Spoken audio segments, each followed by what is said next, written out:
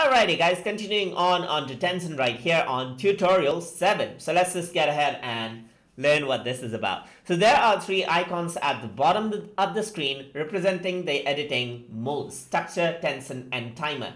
Okay, structure, tension and timer. Uh, click on these to change the edit modes. Alright, so click on these and then you change the edit modes right here, just like this, okay? Uh, what else it does, okay? I'm not very sure. While the tension uh, is in edit mode, you can uh, tense or compress a link by clicking on it. Okay, is in tension mode, you can, oh, you can increase the tension of something. All right, so that's fine.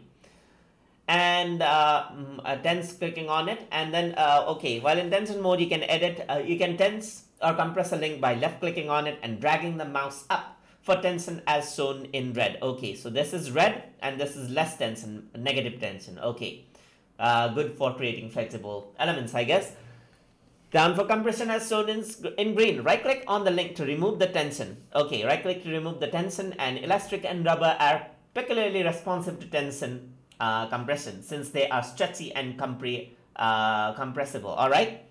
Select the tension edit mode to give elastic link 50% tension so that it pulls the metal seat to help armadillo up to incline. So what is this timer thing? Okay, so there's like a timer or something right here as well. I don't know, that's like nothing explained right here. But anyways, let's just go over here. Play this out first. Okay, there's no tension whatsoever right here. So just gonna pull the out the tension right here.